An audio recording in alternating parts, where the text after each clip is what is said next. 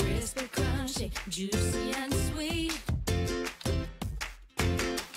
Hi, I'm Mel from Mount Albany Fruit Market, part of your local fruit shop family.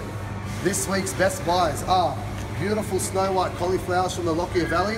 Make sure with the cauliflower you look for a nice firm white head. Onto these beautiful nice beetroot bunches, look for nice and green leaf. Great supply at the moment.